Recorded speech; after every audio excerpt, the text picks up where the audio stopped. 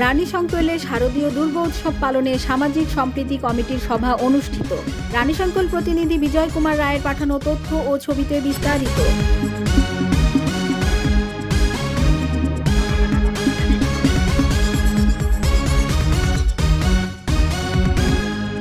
আসন্ন দুর্গাপূজা উপলক্ষে সামাজিক সম্প্রীতি উদ্বুদ্ধকরণ, ধর্মীয় উগ্রবাদ, জঙ্গিবাদ, সহিংসতা ও সন্ত্রাসবাদ প্রতিহতকরণ, ধর্মীয় উৎসবে যথাযথ ভাব, ভাবগাম্ভীর্য ও উৎসাহ উদ্দীপনার মাধ্যমে পরিবেশকে অক্ষুণ্ণ রাখতে ঠাকুরগাঁর রানী সংকলে সামাজিক সম্প্রীতি কমিটির সভা অনুষ্ঠিত হয়েছে।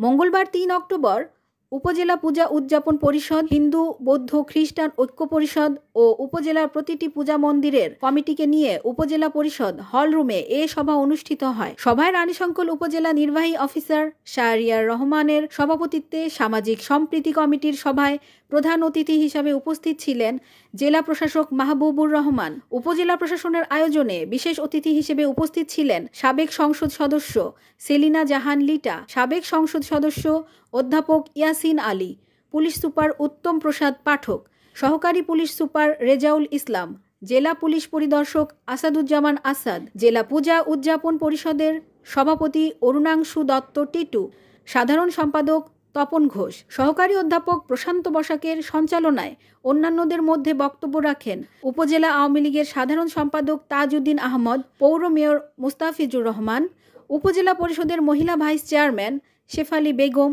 vice chairman Sohel Rana, Ranisankail থানার ওসি গুলফামুল ইসলাম মণ্ডল, বীর মুক্তিযোদ্ধা হাবিবুর রহমান, পূজা উদযাপন পরিষদের সভাপতি ছবিকান্ত দেব ও সম্পাদক সাধন বসাক। আট ইউনিয়ন পরিষদের চেয়ারম্যান সহ প্রতিটি মন্দিরের সভাপতি ও সম্পাদক বৃন্দ এ সময় উপস্থিত ছিলেন। এবার রানীশঙ্কল উপজেলায় চুয়ান্নটি পূজা মণ্ডপে শারদীয় দুর্গোৎসব অনুষ্ঠিত হবে। এতে যেন কোনো ধরনের অপরাধমূলক কার্যক্রম না ঘটে, সেদিকে খেয়াল রাখতে হবে। নিরাপত্তার জন্য স্বেচ্ছাসেবক রাখতে হবে, সিসিটিভি ক্যামেরা রাখতে হবে, এ ধরনের নানা পরামর্শমূলক ও সমস্যা সমাধানের বিষয় নিয়ে সভায় আলোচনা করা হয়। Shahnaz Parvin desk report channel A news.